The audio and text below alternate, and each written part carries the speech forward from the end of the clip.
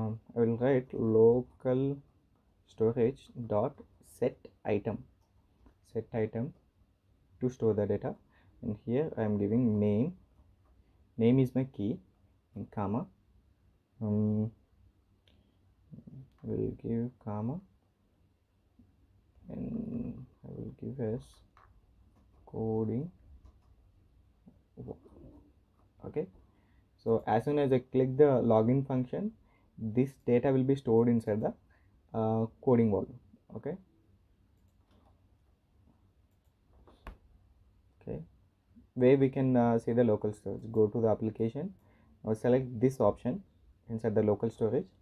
Now I am entering something that doesn't need it but uh, yeah see?